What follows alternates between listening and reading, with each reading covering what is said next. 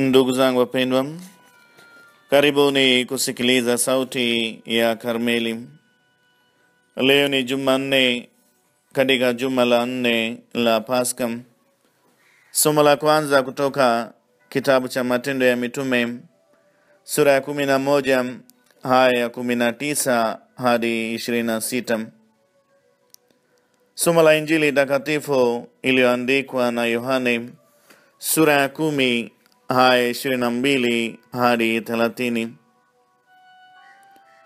Huko Yerusalemu ilikuwa sikukuu ya kutabaruku, ni wakati wa baridi, na Yesu alikuwa akitembea kaluni katika ukumbi wa Sulemani.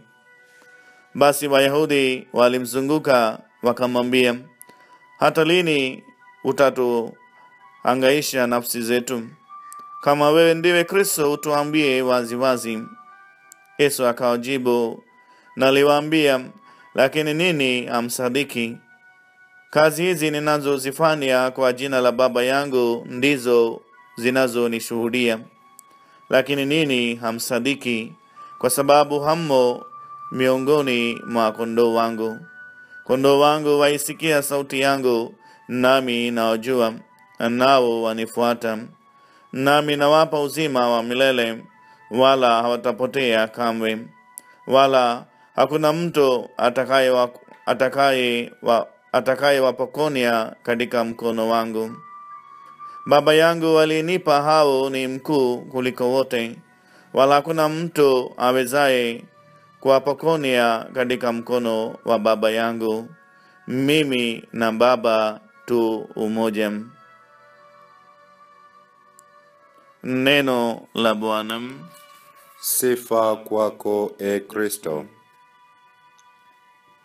Katika somo la kwanza, Barnaba anaona Roho Mtakatifu akifanya kazi ndani ya watu wa Antiokia na hivyo anawatia moyo na kuwapa nguvu wa Kristo.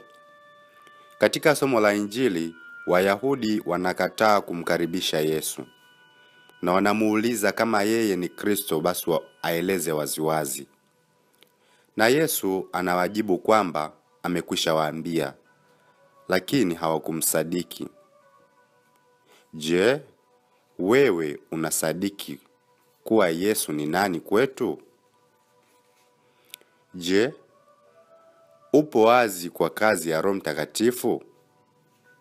Pengine tumemkataa Mungu ashuke kutoka mbinguni aje atupe majibu waziwazi.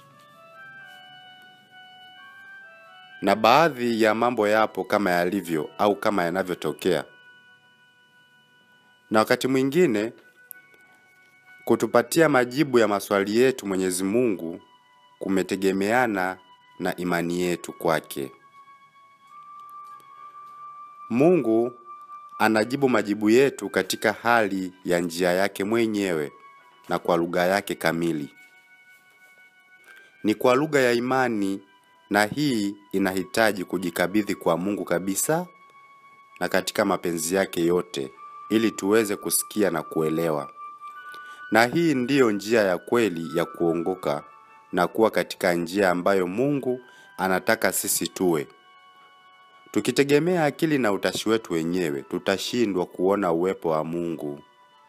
Na kama tutataka akili zetu zitoe majibu yote, ni wazi kwamba tutafikia mahali pa kuona hamna haja ya Mungu, kwa sababu tunajitosheleza kwa akili zetu. Imani yaweza kutupa majibu ambayo akili zetu haziwezi kutambua.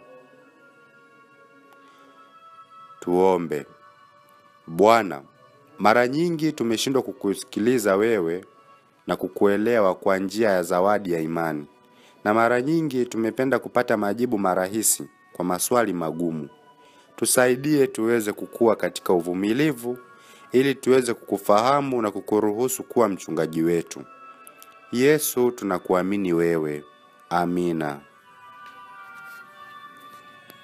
Ndugu zangu wapendwa, sauti ya Karmeli imetolewa na shirika la Karmeli, na wale wanaotaka kufuatilia sauti ya Karmeli, tuma ujumbe mfupi kwa namba ya WhatsApp hii sifuri sita mbili tatu saba moja saba moja sifuri sifuri Asanteni kutusikiliza na tunawatakieni siku njema. Awabariki Mungu Mwenyezi, mbaba na Mwana na Roho Mtakatifu.